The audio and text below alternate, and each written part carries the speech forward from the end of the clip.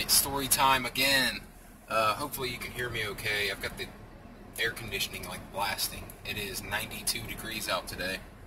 According to the thermometer here on the car, it feels a lot hotter.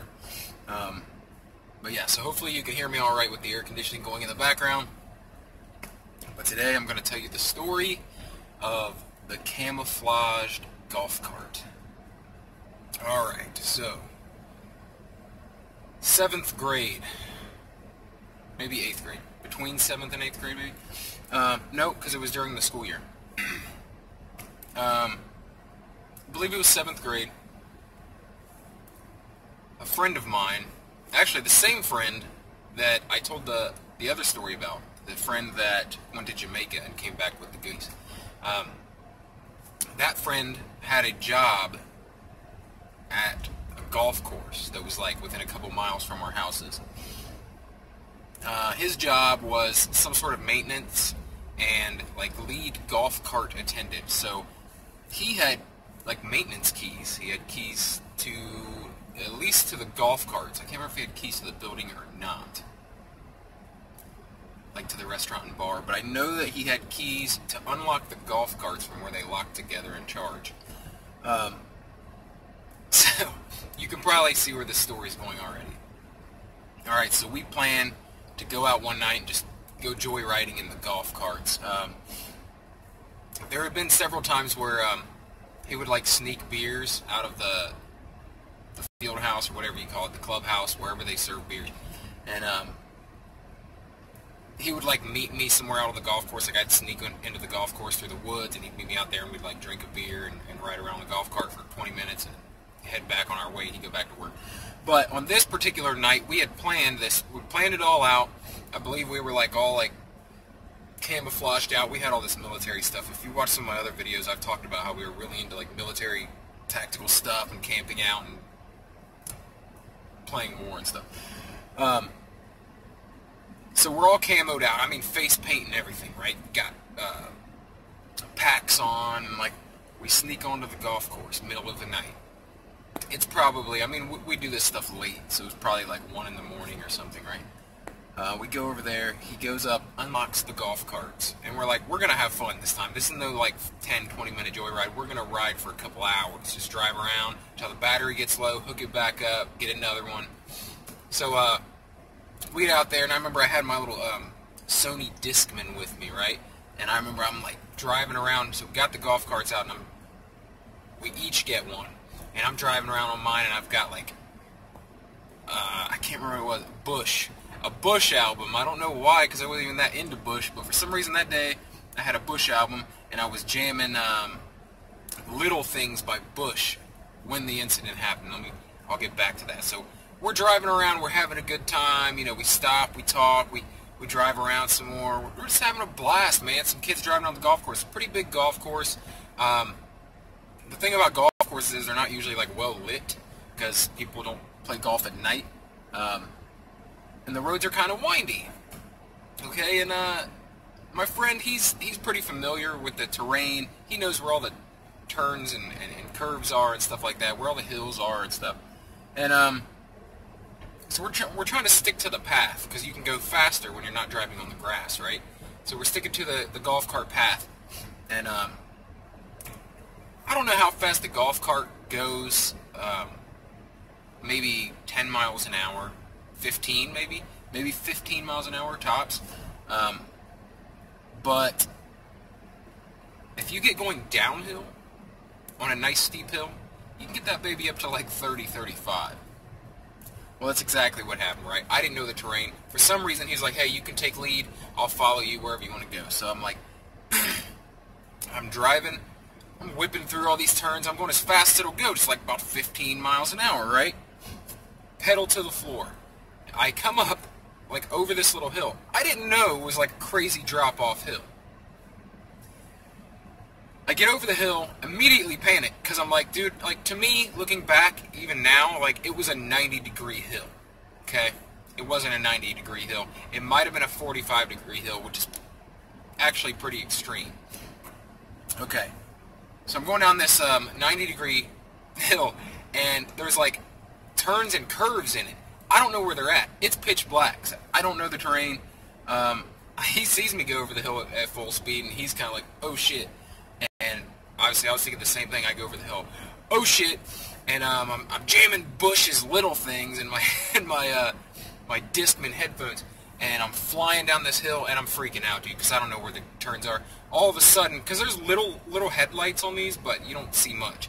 I start to see that like there is a crazy curve, right? There's nothing I can do. I try to stay somewhat to the curve, but I'm like, fuck it, it's not staying on this road. So I just let it go straight, right? I let it kind of go straight. I'm trying to control it, but I can't. I'm in the grass, and I hit. There was some sort of hazard out there, like a um, like a sideways, like a downed tree limb or a log or something. It was intentionally there though, or like a rock. It was part of the landscape. Anyway, I hit this thing full force going downhill. I fly out of the golf cart, kind of.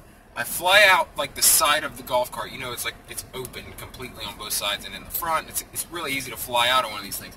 I fly out the side, and then something on the golf cart grabs my pant leg, and the golf cart keeps going after I hit this thing. It's still going downhill. It's dragging me. It probably dragged me a good 50 feet, right? I'm like praying to God I don't break anything or, you know, die. I mean, that would be a horrible way to go. Like, my parents find out, like, that's that's how I died. Like, that would be the craziest thing ever. Um, so I didn't want to die, and I didn't want to get horribly injured, because then I get caught, right? Not to mention be in the hospital. But anyway, I it finally comes to a stop. I stand up, nothing's broken. My leg hurts really bad though, like I'm limping, okay? My buddy Seth, like, I didn't mean to say that. My friend, yeah, I don't think he's going to care at this point, okay? If he cares, he can tell me, I'll take it down. Um, my buddy sees me go over the hill. He's like, oh my god, and I just disappear into the darkness, right? He has no idea what's happened. Here's a loud crash, and then the next thing he sees is me limping, like limping, right, up over the hill, just limping up, and I'm like, I'm alive! I'm alive! Right? I'm completely in shock, like adrenaline's going like crazy. I thought I was gonna die. And uh, that was the only thing I could think to say is like, I'm alive. I'm alive! So, yes, I'm alive. But we go back to the golf cart, and it is totaled. As well as you can total a golf cart. Um, the batteries no longer worked. It wouldn't start back up. Also, the front wheels were bent inward. Right? You know, the front wheels are supposed to be straight like this, and when you turn the wheel, they go left and right. This thing, it, it was crunched inward, right? The wheels were crunched inward. And the steering wheel didn't make them move anymore. So, like, the axle was broken, and it didn't start up, so you couldn't drive it at all. And um, we're pretty far off from where the golf carts go. You know, originally it was like we were thinking we could put it back and just maybe take them a while to notice or something. But no, um, what we ended up doing is there was a there was a a tree line a couple hundred yards ahead of us. I'm like, dude, we gotta hide this thing. That's our only chance. I mean, he worked there. This dude didn't want to get fired. Um, pretty sure there's there's a statute of limitations on vandalism, so I don't think there's anything really to worry about in terms of getting in trouble. Um, anyway, that was our plan. Let's hide this thing, right? So we're pushing it. One of us on one side, one of us on the other. One of us controlling the steering wheel. The steering wheel, it, it only it only turned one of the tires, so it worked halfway we had to keep kicking the other tire back straight in a line to make it go straight every like I don't know, a couple steps. So it took us probably an hour to get it beyond the tree line where we could hide it behind this big row of pine trees, right? We get it back there and we take a step back 100 yards and we look at it like, you know, is it visible? Is it going to be visible in the daytime? We look at it and it's like clearly visible and this is in the middle of the night. So like we know this spot's not going to work. We, we got to hide this thing better. What we decided to do, because we were tired of pushing that thing for over an hour, is instead of moving it, we decided to camouflage it. And being um, what we thought were um, like badass, uh, Marine recon type military, uh, junior military personnel. We thought, like, we can camouflage this thing like a Marine sniper, dude. Nobody's to find it. Okay, so we, like, we go and we start digging up sod and stuff and putting it on the seats because this thing's, like, white as can be, right? This whole golf cart's white. And we're like, okay, so we're, like, stacking sod on top of it, dirt, throwing dirt all over it, making it really dirty and then um, covering it in like long grass weeds and cattails and stuff like that, right? Uh, branches from the from the pine tree. We get this thing very, very well camouflaged. Not before wiping all of our fingerprints off of it, of course, because we're smart like that. We wiped it down for fingerprints. We covered it in camouflage, and we hope for the best. We went home. We got up the next day. Both of us obviously freaking out, you know. Um, he goes to work. I think he had to work the next day, maybe the day after. Well, he comes back and he goes to work, and he's um, he goes in and, and you know I talked to him the next well, later about it. He probably called me when he got home. He's like, dude, we're fucked, man. We are so fucked, dude. The cops are out there investigating, taking fingerprints off the thing. He's like, they saw it immediately, man. They, they found it really quick. And, and they like, you know, they called the cops. They came out, they did an investigation, and it was a scary week or so for some 13-year-old kids, right? We were sure we were going to get busted. We didn't get busted. He didn't lose his job. No one ever found out about it. Like this is the first, probably, it's ever been talked about publicly. Um, I saw um, an ad in, or an ad. I saw a, uh, so I saw an article in the paper, uh, maybe like a week after the incident. It says like golf course vandalized, and it tells like the story of how they found it, where they found it. Investigators had no leads whatsoever, couldn't lift any fingerprints off it. So we did, we did do a good job of wiping the fingerprints, but uh, yeah, that was that was scary. That's something I'll never forget. Um, I mean, both of us remember that in pretty good detail. I mean, we still talk about it to this day. Am I proud that I vandalized something and, and you know, never had to pay for damages. No, I'm not. But I was also, I was a kid. Kids do dumb things all the time. Much worse things. In fact, I've probably done much worse things. And, um, I don't know, I was 13. I mean, I didn't have a job. Am I going to pay for it? I don't want my parents to pay for it.